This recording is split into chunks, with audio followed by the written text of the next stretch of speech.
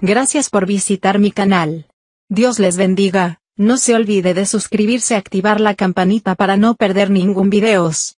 Tenemos más videos de historias, noticias, y advertencias interesantes en la vida cotidiana. Gracias por su apoyo y por compartir bendiciones. Muere por coronavirus justo cuando finalizó la canción de su boda dejando a su esposa devastada.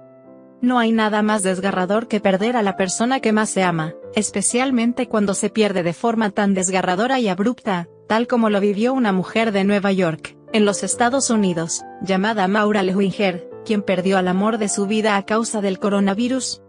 Durante años, Maura vivió miles de momentos inolvidables al lado de su esposo, llamado Joe, quien le escribía hermosas cartas de amor todas las mañanas, en donde además de desearle un buen día, plasmaba los planes que tenía para su amada familia. Él siempre me cuidó, me llevaba el café a la cama y me ayudaba en todos los sentidos, afirma Maura. Casi de un día para otro, Maura perdió a su esposo el fin de semana pasado por complicaciones con el coronavirus y, al igual que otras familias alrededor del mundo, en ese triste momento, Lewinger tuvo que despedirse virtualmente de su esposo, mediante una videollamada por FaceTime. Pero, debido a la rapidez con la que ha ocurrido todo, Maura se rehúsa a creer lo que está sucediendo, y prefiere pensar que su esposo está en el trabajo, y que algún día volverá para seguir amándose. En este momento, sin ver a nadie, a veces se siente como si estuviera en el trabajo, dijo Maura. Joe trabajó en una escuela secundaria católica de Long Island, Nueva York, durante 20 años.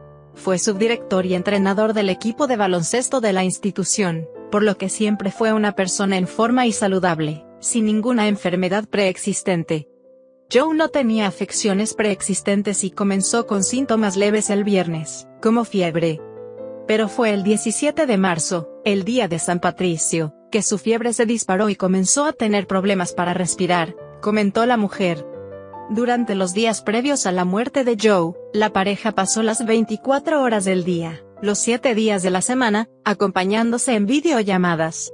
Mauro trataba de hacerlo sentir tranquilo y querido, para que no se sintiera solo.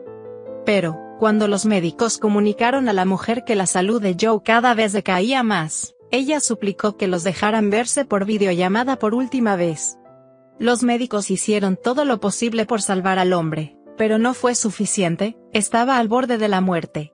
Maura puso su canción de boda de fondo, y se dispuso a decirle adiós a su eterno amor. Le agradecí por ser el esposo más increíble, por hacerme sentir apreciada y amada todos los días. Puse nuestra canción de boda para él y eso fue todo, señaló la mujer. Cuando la canción finalizó, hizo lo mismo el corazón de Joe. Perdió la vida, sumiendo en una profunda tristeza a su esposa incondicional, y a sus tres hijos que siempre lo llevarán en su memoria. Ante la pérdida, Maura pide a todas las personas que se mantengan en cuarentena, y que piensen en todo momento que el coronavirus es un peligro real al que estamos expuestos. Nos sumamos a su petición y esperamos que pronto encuentre consuelo. No te vayas sin compartir esta emotiva historia con todos tus amigos, y recuerda seguir todas las recomendaciones para protegerte del coronavirus. Gracias por su tiempo y atención. Si tienes preguntas o dudas acerca de este video, puedes dejarnos sus comentarios. Gracias por compartir este video. Muchas bendiciones.